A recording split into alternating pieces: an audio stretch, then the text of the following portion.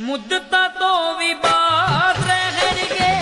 ਚੇਤੇ ਬੋਲ ਤੇਰੇ, ਓ ਧੜਕਨ ਬਣ ਧੜਕੇਗੀ। ਬੇਸ਼ੱਕ ਨਾ ਤੂੰ ਕੋਲ ਮੇਰੇ। ਬੁੱਲੀਆਂ ਤੇ ਇੱਕ ਮਿੱਠੀ ਜਿਹੀ ਫਰਿਆਦ ਕਹੇਗੀ ਤੂੰ। ਸਾਹ ਵਰਗੀ ਏ ਆਖਰੀ ਸਾਹ ਤੱਕ ਯਾਦ